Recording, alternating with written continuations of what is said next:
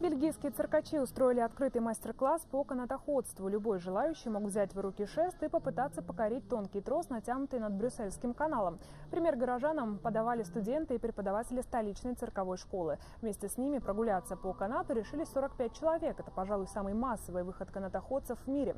Студенты учились ходить по канатам постепенно. Начинают с высоты всего в 30 сантиметров, затем переходят на полметра, метр, два, четыре и, наконец, мастера вышагивают на канатах над каналом. Они натянуты на высоте 8 и 14 метров над водой.